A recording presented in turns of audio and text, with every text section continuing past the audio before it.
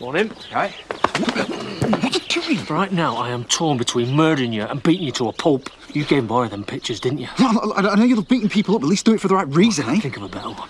Well, except it wasn't me. Yeah, of course not. Look, I, I had them. They got nicked off me, didn't they? So you had backups? Did I? Why was I trying so hard to stop Harriet from wrecking that memory card?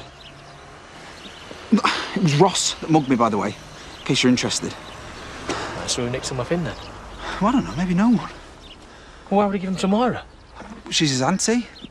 Why are you asking me and not him? Ah! What was that for? Pick a reason.